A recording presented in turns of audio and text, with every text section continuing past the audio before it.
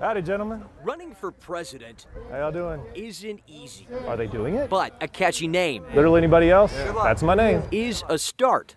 Hey, how's it going? So what do I call you, Mr. Else? No, he's not joking. My name is literally anybody else, and I'm running for president of the United States. And it says so right here on his Texas license. You know, it's not necessarily about me as a person, but it's about literally anybody else as an idea. Literally anybody else is a seventh grade math teacher from North Richland Hills, Army veteran, Howdy, sir. a 35 year old now running for president in his first year of eligibility. Donald Trump, Joe Biden, they're under it would be literally anybody else. And the reason why 300 million people, we can do better. you might find relatable. There really should be some outlet for folks like me who are just so fed up with this constant power grab between the two parties that just has no benefit to the common person.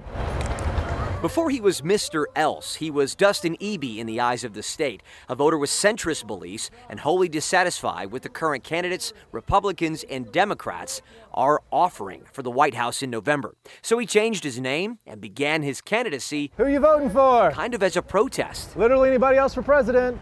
It's a real it's a real item. Statistically, Mr. Else doesn't stand a chance. In Texas, just to get on the ballot as an independent, he needs more than 113,000 signatures from non primary voters by mid May. You satisfied with Trump and Biden? We have a third option. This is him trying to grab some of those signatures before a Stars game.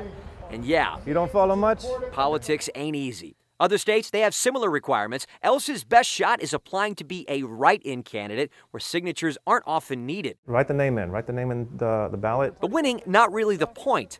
In his mind, it's a statement about the current state. We don't have a neither option on the ballot. And this kind of fills that role. Y'all, y'all take care. In Dallas, I'm Matt Howerton.